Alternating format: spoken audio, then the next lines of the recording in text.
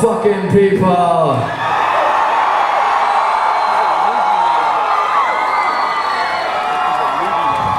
Will we continue to be oppressed by the fascism of Christian morality?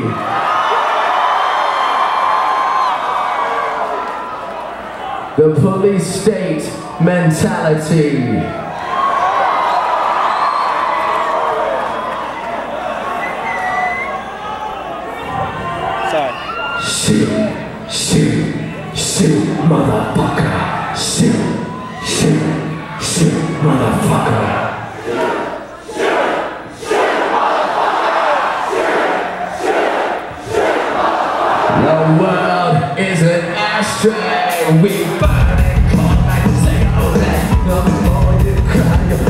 Just turn to